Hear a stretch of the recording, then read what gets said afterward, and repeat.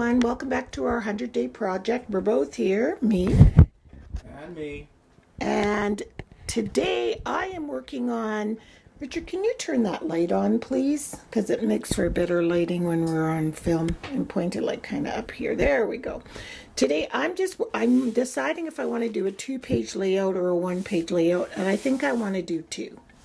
I just want more space to create on, and I don't even know what I'm really going to do. I just want to just create something pretty. And Richard is, um, he saw some pajamas on Indy. Dinosaur pajamas. Let me see them on the thing. And they're so cute. There's all these little dinosaurs on bikes and on. They, they're all on bikes. Yep. And they have little helmets on, and they're just the cutest. So he's going to recreate that on there. And then Julia wants him to recreate it for Indy's wall in his room because it's just the cutest. So first thing I'm going to start off, I'm just going to paint these pages white.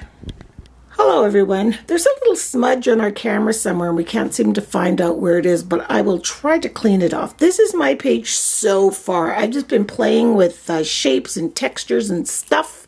Like this is large bubble wrap over there and then I cut a heart out of this um, I threw it in the garbage. I'll show you. I don't even know what it is, but you guys know what I mean. This stuff. So then I mixed up some red paint over there and I added some red mica flakes so it'll hopefully shimmer when it's all dry. And then I just echoed the red and a little bit of the red there. And so that's as far as I've got. I've cut out some images and um, some rub-ons and I'm just gonna play. Going to town here, people. Just having fun. And then Richard, he just went in the house to get some water. But I will show you. Look at that. He put the dinosaurs on bikes, but he also put one on a skateboard, if you can see him in the middle there, that little guy. They're so cute. And they all have little helmets. That's what's so cute about them is their helmets. They're just precious. And those were on Indy's pajamas. So yeah, we're just going to carry on playing. So I just wanted to show you where I'm at with mine. Richard's still the same page because he's eating supper. I already ate supper because I want to get back out here. But I, it's just wacky. No rhyme, no reason. I'm just doing, creating whatever it feels like I should do. That's what I'm doing. I took my hole punch and I punched some paper circles. These are going to be flowers. And I'm going to put this as my center in my flower. I'm going to stamp it in. I found this little thing and it just says, I have spoken. And the arms of it look like bird, a bird wing. So I drew a bird head and I put it right there. And then I'm going to stamp a bird cage beside him. It says, I have spoken. And then over here, I haven't done too much more than the, I think, I don't know if she was on last time, but this little girl, ballerina girl. And she has a really pretty green crown. I put some, um, this is rub-on. And there's a little bit pink rub-on going down there too. And that's as far as I've gotten. I know. I need help. Yeah, I know, right? Wacko. But I know what it all means. It's all tied together to me. But you can see there's a bird there. I showed you my birdie before, and the cage, and a whole bunch of rings stamped. And there's text stamped on top of paint on both sides.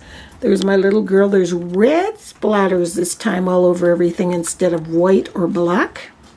There's the word creativity, the word you must always be curious. Um, this is just a broken rub on. It doesn't even mean anything. It says love is a chain where something, something, but it's torn, which is okay. Right down here it says awesome. Uh, this side, the two sides are tied together by that and that and by the red and the red, but they all are tied together. The border all the way around is Dylusion stamps. And then I'm just going to put my words on this page in black paint and it will make perfect sense, hopefully. so here is my finished page and it says, I see art in every day. And that's why there's all this randomness all over the page because it's just things you see all the time.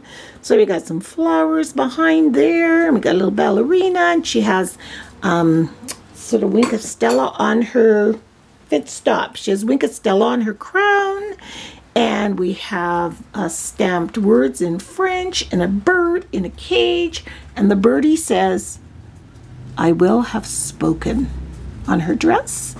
And then there's rings and the border and just a whole plethora of collages. There's just paper scalloped here with doodles around it and doodles all around. And that's my page. So I see art in every day, and I actually do see art in every day. So I wanted to do a double page because sometimes I feel very challenged by just being able to work on one page, especially if you're going to do something this whacked out. So anyway, hope you guys like it. I do. I think it's crazy. but I do like it. I really do. So Richard, are you done? No. He's just about done. Hi everyone, here's my finished page for the day. And so, this is a picture that I got from Indy, my youngest grandson, and his dinosaurs. They were riding bikes, but I put one guy on a skateboard and I put a scene behind each little guy. Actually, they're skating and riding on a road. Cool, eh? So anyways, um, so this is my finished page. I did it in acrylics and bright colors. So now I think I'm going to use this as an example for his room. And uh, we'll see. Anyways, my finished page, dinosaurs on bikes and a skateboard. Wow. See you guys later. Bye.